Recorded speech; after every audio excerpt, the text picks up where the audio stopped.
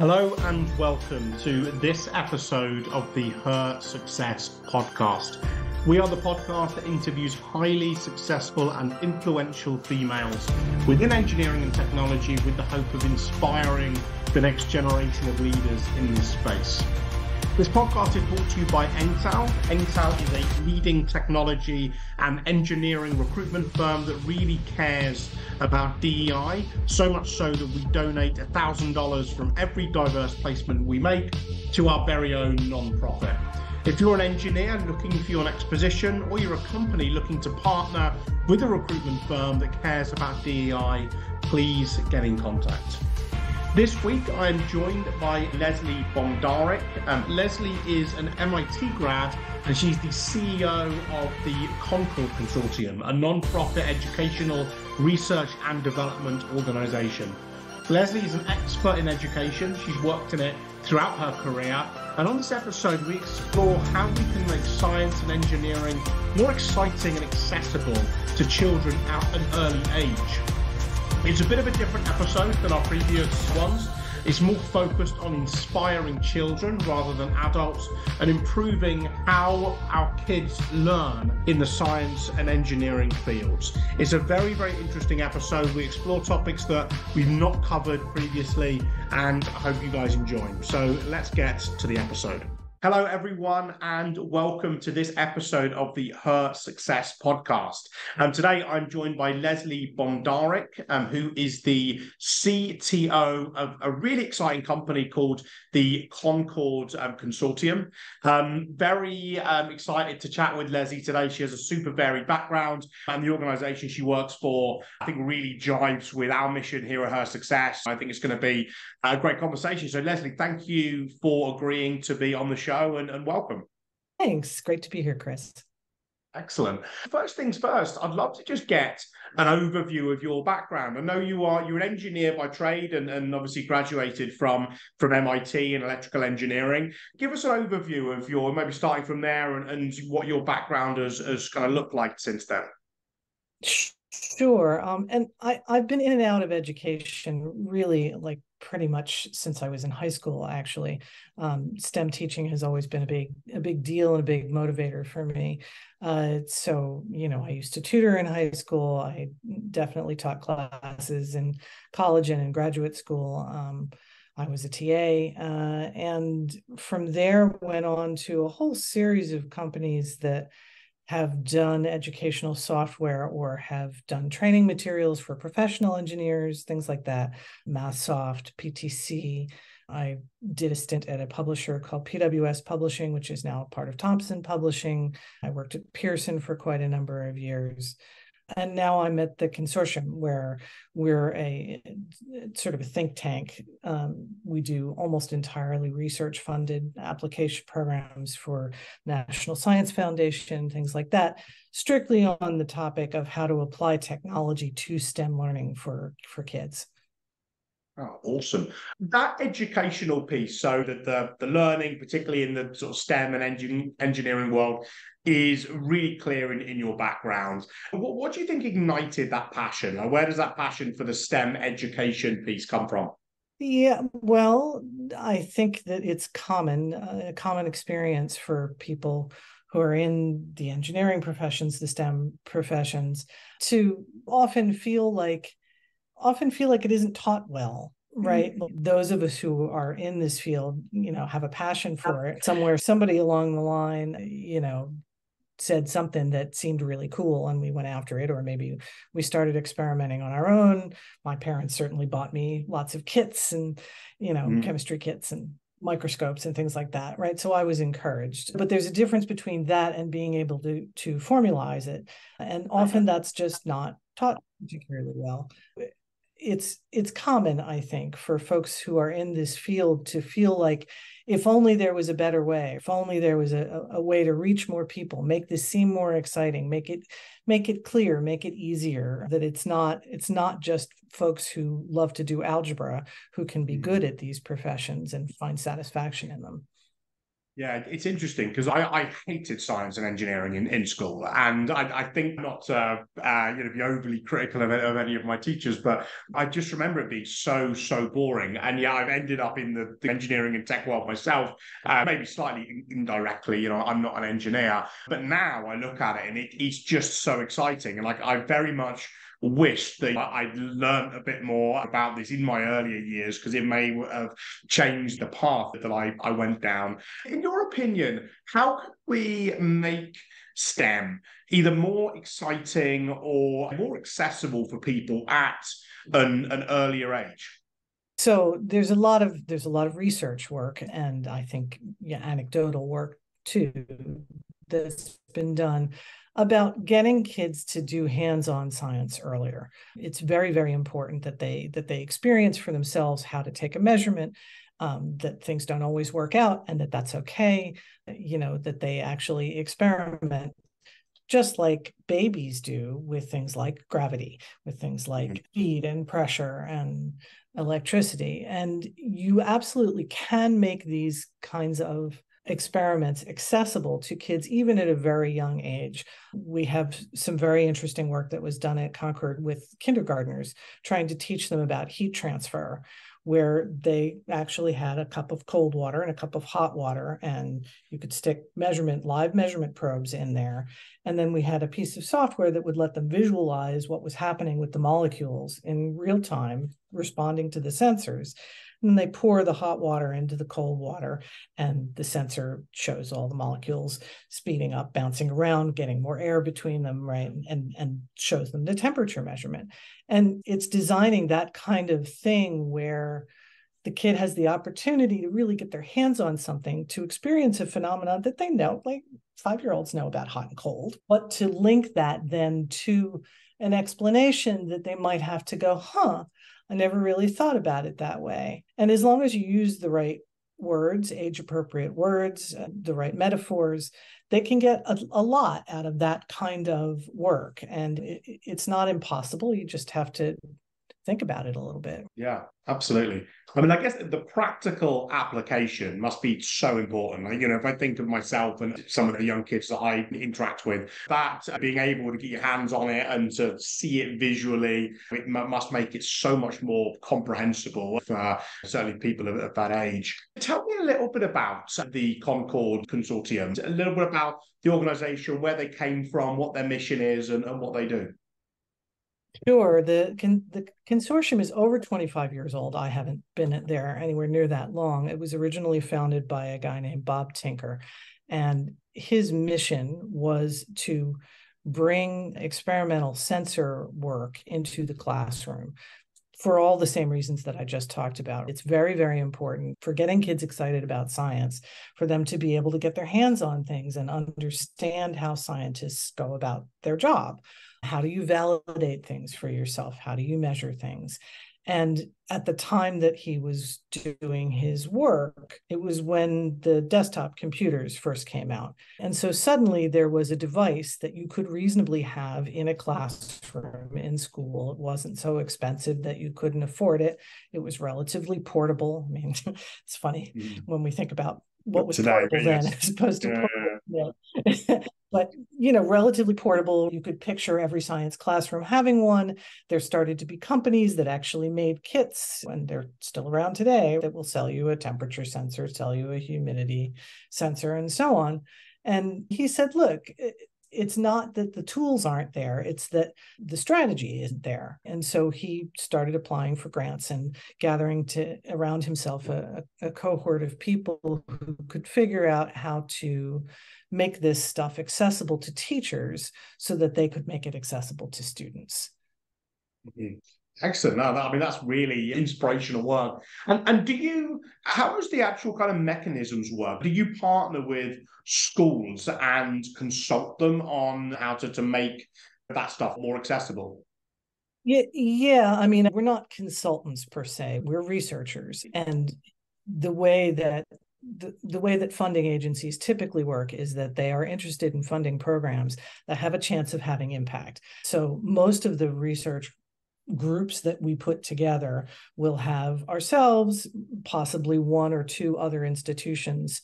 Uh, there's a big group of people who research education at Michigan State University, for example, uh, and another group uh, in in Berkeley, um, in California. Uh, and then you need to partner with schools who are going to actually instrument the things that you come up with. So we'll we'll typically recruit anywhere between 5 and 20 schools with teachers who are sympathetic and are willing to figure out how to work this stuff into their curriculum and they'll work with us on what they consider to be accessible to their students and what will fit within their curriculum. Another big problem that, that this kind of work faces is that schools have very set curricula grade by grade about what you're supposed to teach, what kinds of skills the kids are supposed to come out with. And so sometimes these little research nuggets inserted in, inside don't precisely fit with that. Mm-hmm. So you, you know we need to to work with the school and with the teacher to make sure that we're we're giving them something that they have time and makes sense for them to implement. So we'll put those groups of of folks together. We'll write the proposals together and get funded and out it goes. Once the work is done, we have on our website, we have quite a number of released projects. Often we will find that the same teachers who helped us do the research in the first place and made their classrooms and their students accessible to us will go out and proselytize and they'll tell people to mm. you know to the website come and set up their own classes with the released work and it, it sort of grows organically from there yeah but that's uh, why that's all the stuff we publish on our site is free because we want people to use it we, we want people to come in and make classes and use our use our sims and use our tools very cool. If you were to give advice to uh, a teacher or, or, even a parent, you know, someone that has young kids and you know they they want to get them, um, you know, kind of excited about, um, you know, science and, and technology, and um, what advice would you give them? Take them to the science museum. it's you know take them take them out let them explore nature let them explore their world encourage them in the things that they find interesting. And the other thing that's important is that the parents shouldn't be afraid to not know themselves. I think I was lucky. My dad was a, a computer scientist, and okay. uh, and then, and so it was easy for him to say, "Yeah, sure. Oh, you want to know more about computers? You want to know more about how wiring works? Fine." but it's perfectly okay for the adult not to know too and then you can learn together that's actually incredibly powerful for kids to see that adults can be wrong and fail and try and learn and grow and and eventually succeed you know it's it's fine to do it together like that yeah excellent no, that's a, a really really good point I hear that a lot, almost from a different lens, but we talk about strong leadership and strong management in the work world a lot. And I think that's some of the feedback that I often get is saying, I don't know, that's not my area of expertise. Let me try and find out is often a strength and a sign of confident leadership. I imagine it's very similar, you know, as, as a parent as well. And I, I don't have kids yet, but sitting down and, and you know, saying, actually, I don't know this, Let, us learn this together, I imagine would be uh, really, really impactful. We interrupt this podcast for a quick 30 second introduction to Engtal, the host of Her Success. Engtal is a US based staffing agency specializing in engineering and technology. We have an insatiable passion for diversity, equity, and inclusion, and part of our mission is to balance the diversity scales in our industry. We are so tied to this mission that we donate $1,000 from every diverse placement made to our very own nonprofit, Diversify the Future. We then use that money to fund scholarships for underrepresented groups of people to help them obtain a STEM degree. If you're an engineer or a tech professional looking for a new position, or maybe you're hiring for talent in this space and want a recruitment partner, please get in touch. Talk about some of the, or one or two of the projects um, that um, you've worked on. You mentioned one earlier with the temperature gauges. What's another example of a, a good project, um, you know, that you guys have put together? Yeah, well, I mean, we we've done literally hundreds and hundreds of these projects over the years. Some of the stuff that I'm most excited about working on right now is the stuff that goes into minority and I'll say minority communities because honestly, these days helping women get into STEM is kind of last year's news. Right. Yeah. Yeah. You know, right now we're trying to go further than that.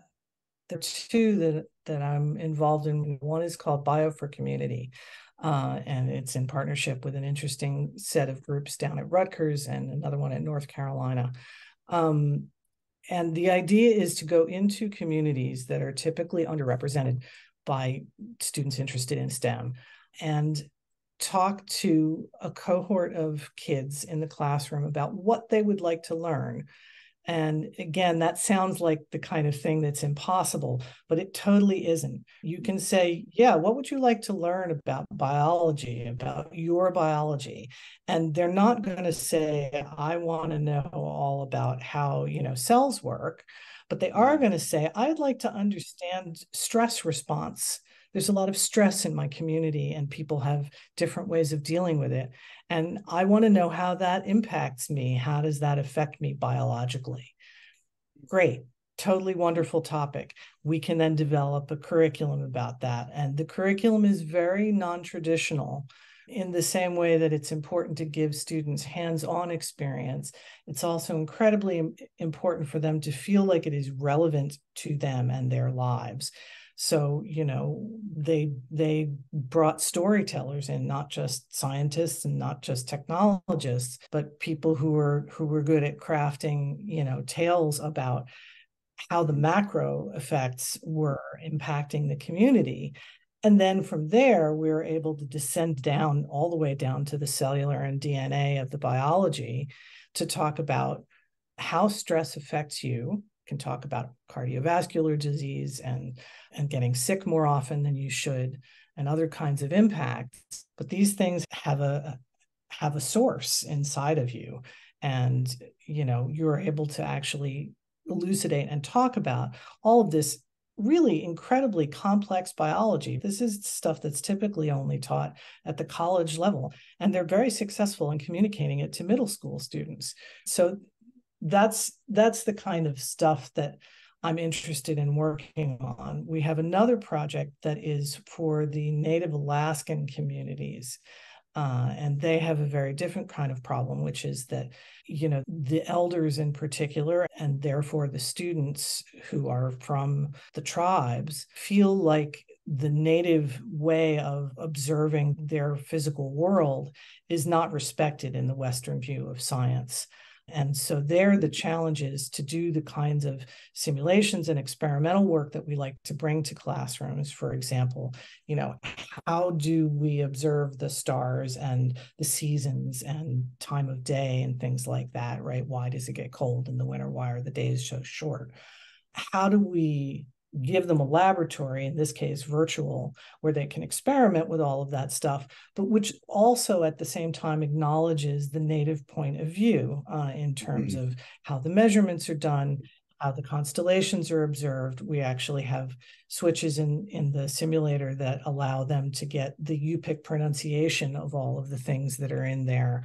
And of course, there's also a curriculum that goes side by side, right? So we're partnering with those native tribal elders and, and the teachers in that community to try to bring to them an experience that that makes it okay. Like everybody's okay. Everybody has their own stuff that they're going to bring to the knowledge of the universe and mm-hmm. how do we how do we validate that right? How do we find ways to validate that? And then at the same time move the knowledge bar along. Mm-hmm. so that's just a couple of examples of the sorts of things that we're working on today that i'm really excited about.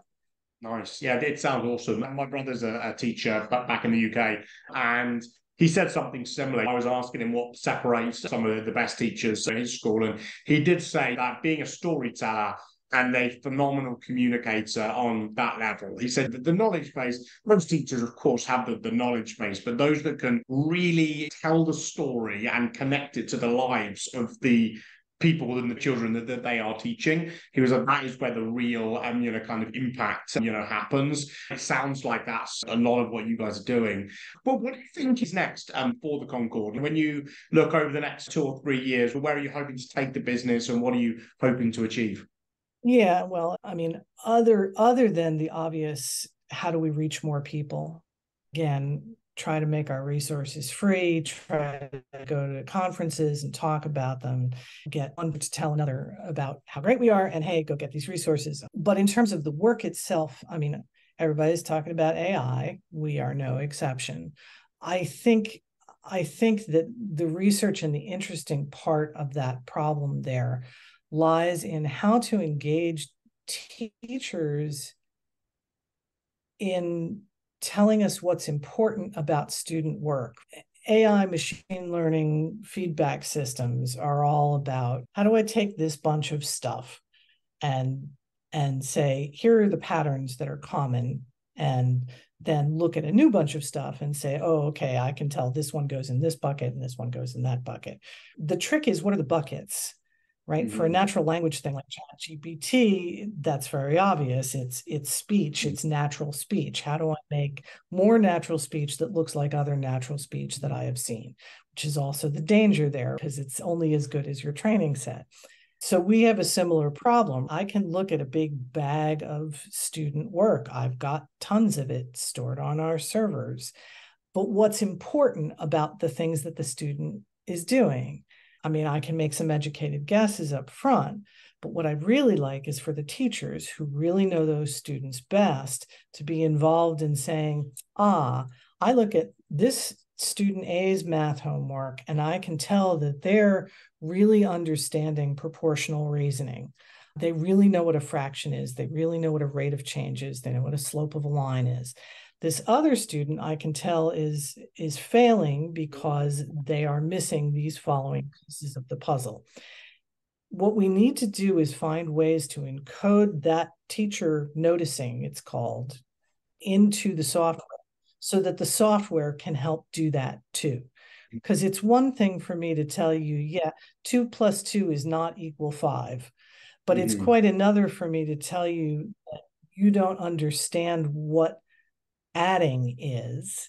Mm-hmm. And here are some exercises, some tools to get you over that hump. So it's actually a much more sophisticated problem than it sounds. I can't just reuse the code. Fine, I can make algorithms all day, but how do I train them correctly to be of mm-hmm. actual benefit to the student? And how do I expose those pieces to the students on the other end so that they're actually useful and coaching them at the right time? Does mm-hmm. that make mm-hmm. sense? Yeah, no, it really does. Because I think, yeah, really being able to understand the, the example, the two plus two example, because I think back to my own childhood, and I, I always had a very good memory. So if someone told me two plus two equals four, I'd remember two plus two equals four even though I may not have actually understood the theory of why two plus two equals four, I just remember that someone told me that, and therefore that's that's the answer. Whereas I get, you know, that software of of really picking apart how people's minds work and making sure that they really, if they are incorrect, what piece are they missing must be really, really valuable. And it's going to be really interesting where yeah, we're able to implement that in schools and learning and, you know, the makeup of classrooms and how we can deal with uh, different personality types and different brains and everything like that. It's going to be amazing over the next few years to see where that goes. Yeah, there's been a real revolution in science teaching, I think, in the last 10 years or so, there's a thing called the Next Generation Science Standards, which are starting to be adopted all over the country. Uh, I don't know about outside of the US, but it's it's a big deal here. And, and it means that you need to learn to teach differently. It's no longer about memorization. It's no longer about, can I spit back a set of facts to you? It's more about how do I how do I teach myself how to learn?